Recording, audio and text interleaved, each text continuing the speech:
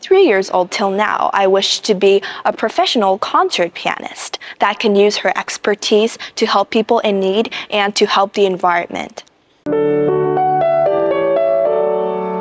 Donning a floral one-piece outfit, 13-year-old Wang Ziyu graced the audience with her piano flair by staging a concert at the Steinway Garden of the Shenzhen Concert Hall in Futian District on July 28.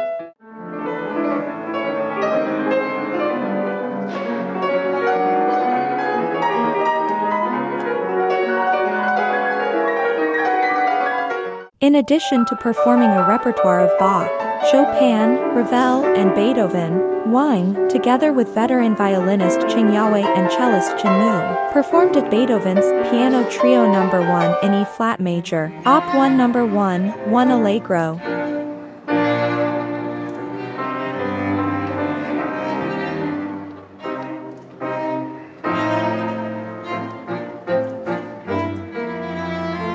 Bach is from the Baroque period, um, Chopin is from the Romantic era, Beethoven is from the Classical period, and Ravel is from the Impressionist era. I hope the audience can feel like they're in a timeline and they can choose which one's their favorite piece. Wang conveyed that the chosen pieces exemplify a fusion of delicacy and emotion, demanding the utmost skill and musicality from the performers. An ardent advocate of environmental protection, she integrated her concern and reverence for the planet into her performance. I think of how polar bears suffer from glaciers melting and how the environment needs protection. I transfer that kind of emotion into my music.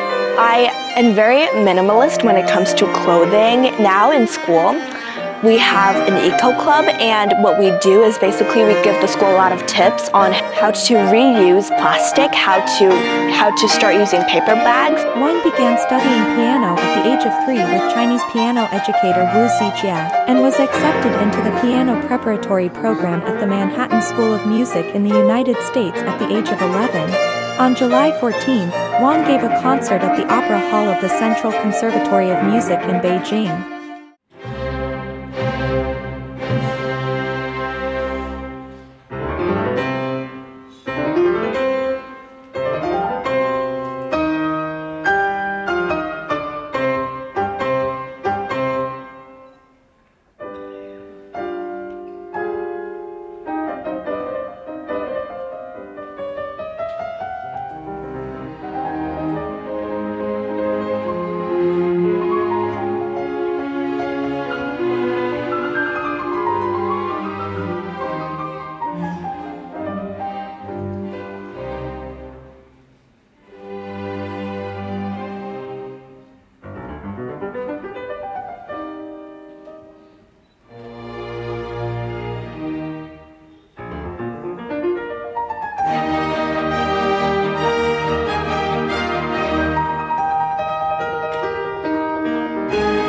Mark Silverman, he is the piano director of the Manhattan Music School.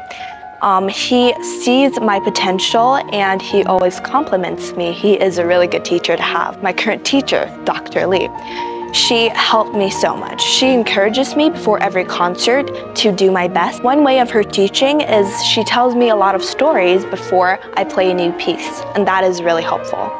I love her and she is the best teacher for me right now.